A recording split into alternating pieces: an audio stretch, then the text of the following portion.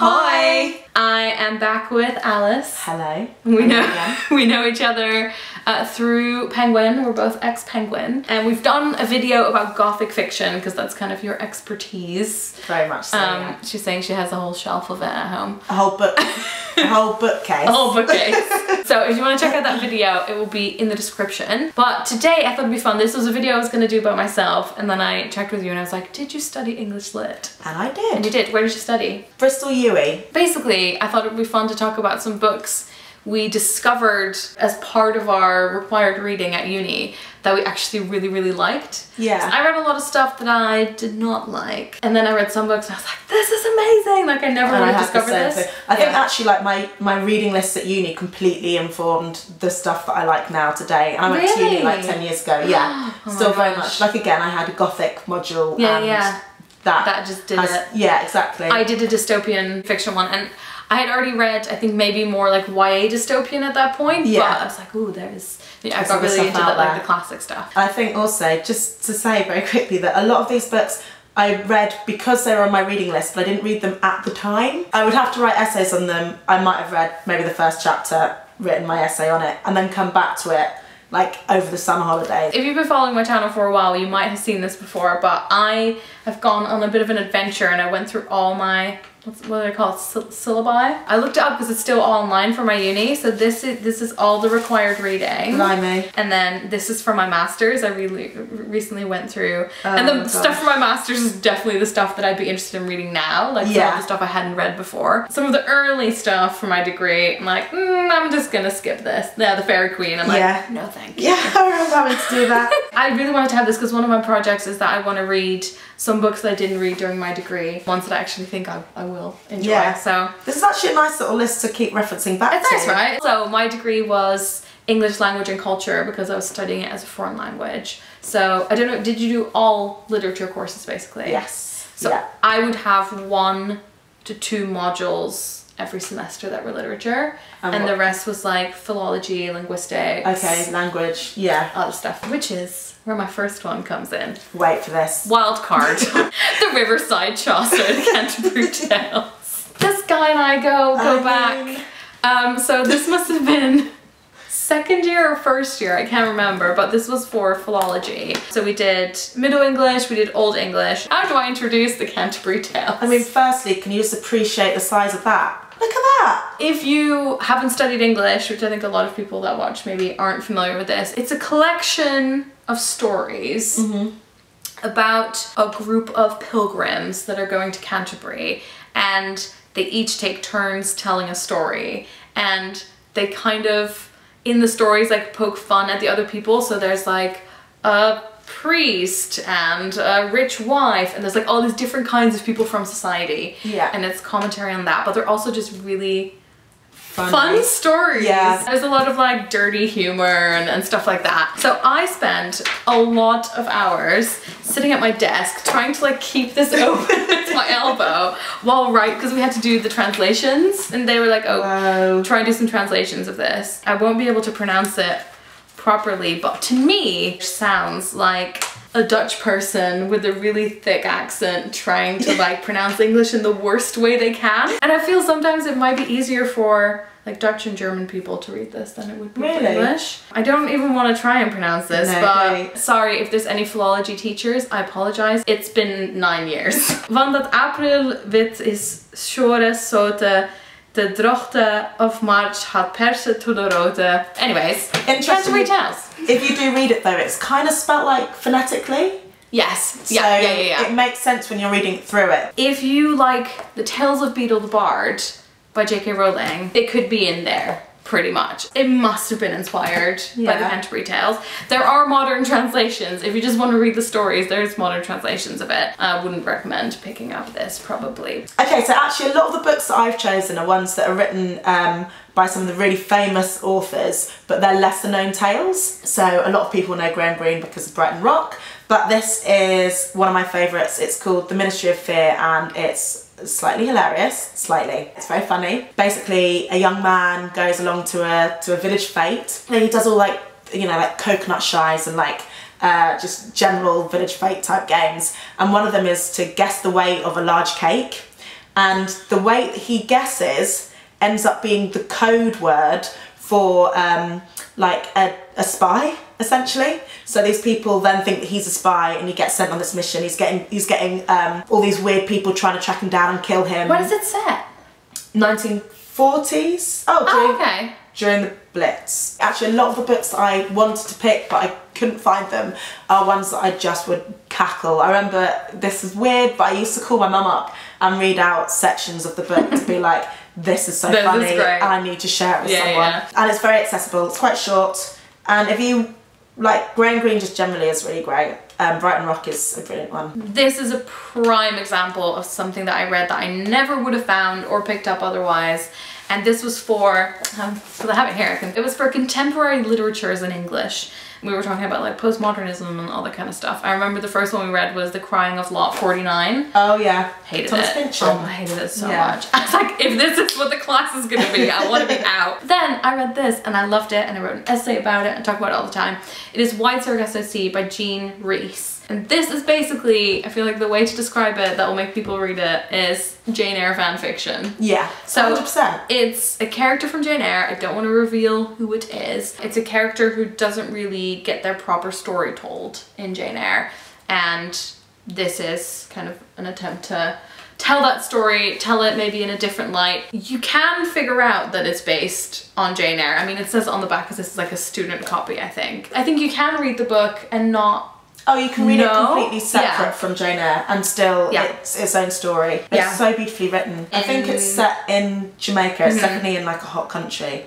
I think that might have been partly why I felt like into it. Like you said earlier, the story um, that it tells is a minor character in Jane Eyre, but one that is always there. when we were looking through our selections, especially I think in your first years when you're studying English Lit, depending, I don't know what it's like now, but when we did, it's a lot of the canon, or like it's a lot of like white male authors. Yeah. And I think when you move into like later years and masters, I feel like it often does get a bit better. But I think there's definitely something to be said for uh, the curriculum. I just did not realize when I was studying that that was like a conversation and something that would have been good for me to think about a bit more. So I think actually it's interesting when I was thinking about the books for this that I was a bit appalled at myself because the books, all of the books that I chose were white men, um, post-war British authors. Uh, That isn't my general kind of reading. Right, but I guess you pick your favourites from what you're given, What I was given, right? and Yeah. that I was given a lot of that Yeah, basically. yeah. But to break from that, um, I chose one book that I absolutely adored, and most of you will either have read it or seen the series, and it's The Handmaid's Tale by Mm-hmm. Margaret Atwood. So good. So we were talking about like dystopian fiction. I know that Sanne did a course on dystopian fiction. Yeah. I did as well. She's just such an incredible writer. You're completely in the book. Um, I only read this two years ago, so I didn't read it during my degree. did you see Um, the series? Yes, so I've seen Yeah. season one. I haven't seen season two yet. Classic story. I think you all know kind of what it's about, but a society where women don't really have a lot of rights. Um, women that are of childbearing age are given to the, these older couples because there's a massive fertility problem, and men are just basically controlling Yeah. the whole business. It's about um, one of the women who's a handmaid Yeah. telling her story of what happened to her. what happened. I was also recommended it by a few people because I like dystopian fiction. Mm-hmm. I remember talking about like Brave New World and 1984. Oh, Brave New World. you didn't get into it. No, Well, no. I- I, I might read it again, but I haven't read 1984. Um, you haven't. I mean that that's a classic. Yeah. And along alongside this, like My last one. I'm excited about this one. I'm really annoyed because I can't find my copy, so I've just picked another book by this author. John Wyndham. So this is good. The Midwich Cuckoos, which I've read recently. But mine is The Day of the Triffids. Show it on the back. The Day of the Triffids.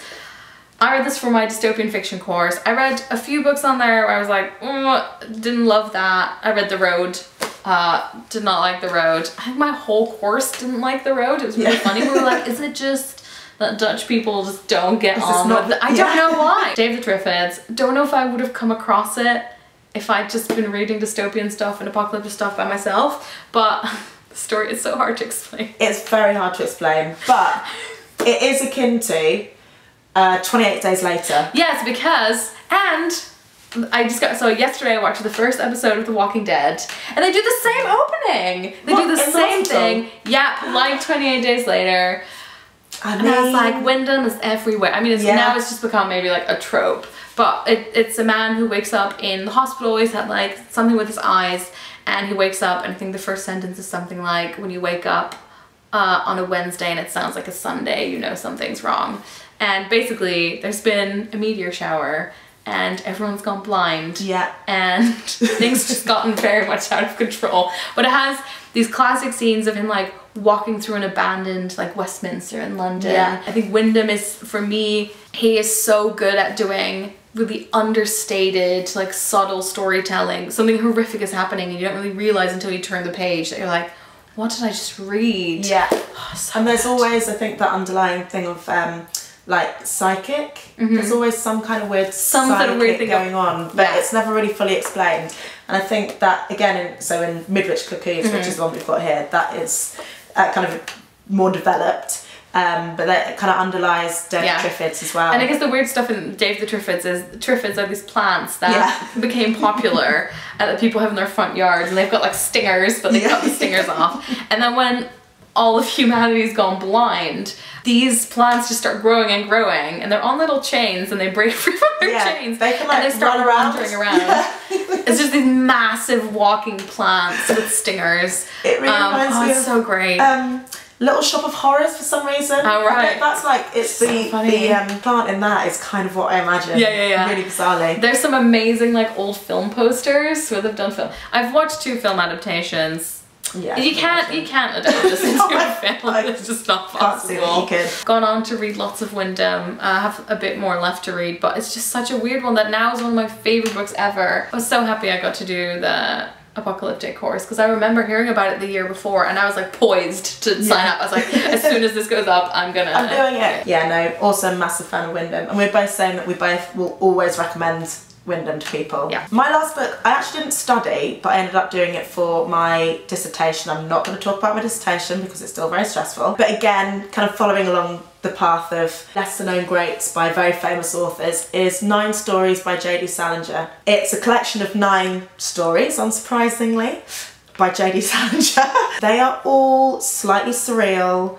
Um, they are very separate. They're like very much set in like the heart of America or like cities or like a, it's a futuristic kind of thing, or not really. They're like like not futuristic. There's one though that's about psychic abilities Okay. and it's slightly strange. That's not what I would expect from J.D. Salinger. No, Yeah. exactly. It's very they're very different to Catcher in the Rye, which is obviously his most famous work. They're all quite emotive. Some of them because they're so short, you're like, what why does that stop there? I want to know more. The first Right. book is called um, Perfect Day for Bananafish and the ending of that is so surreal and you had no idea where it's gonna go. They're very American, I quite Okay. like reading so about did you to do me. American and British lit? I did mainly British literature. The American course I didn't actually enjoy. Mm-hmm. Like, I, really there's a lot of that American classics away. that I don't get on with. I should try harder. In fact, I should probably go back and read more, especially because I, there were some that I love, like J.D. Salinger. Yeah. Um, and these are just really emotive. There's one here again called For Esme with Love and Squalor, and it's incredible. it's incredible, and it's set during the Second World War Mm-hmm. um, in Devon, I think, and you'll just cry your little eyes out. The last words. Oh God, I love talking about books. Maybe it was a bit of inspiration for if you are thinking about studying English lit, or if you just want to, you know, reminisce about your your days reading books you didn't like and then some that you did.